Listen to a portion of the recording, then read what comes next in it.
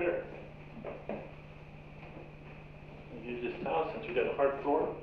I think the foot could get like carpal tunnel, you know, if you've been on riding a lot or, uh, you know, just doing little movements instead of just big, uh, you know, big motions with your foot. So yeah, I think you get carpal tunnel, some other kind of things that the, that the hand would get to. well, I mean, I do everything from, uh, you know, picking some something up with the toes to, you know, I'll flick up a, a pen and catch it with the, you know, kind of like David Letterman would. Uh, you know, the toes are like fingers. We just don't use them that, that way.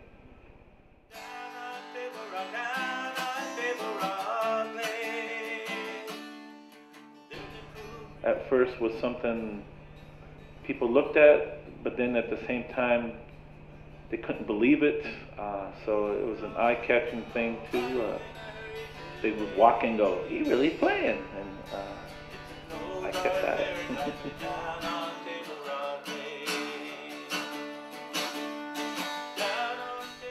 Yeah, the guitar was something my dad had.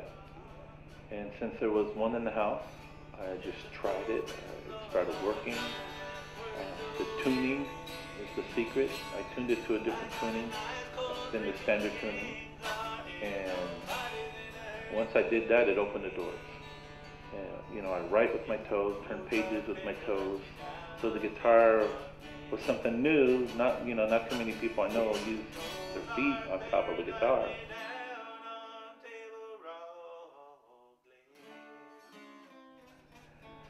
Uh, I would say that uh, here's a guy with no arms, you know, playing the guitar with his feet. Uh, I've traveled, you know, to 42 countries. Played for from presidents to popes. Uh, who would have ever thought that a guy with no arms would be able to be doing what I'm doing? Uh, the, even the young people don't run away from me. I mean, they, I guess in a sense they respect even what I do and want to see and you know are, are kind of drawn to it too.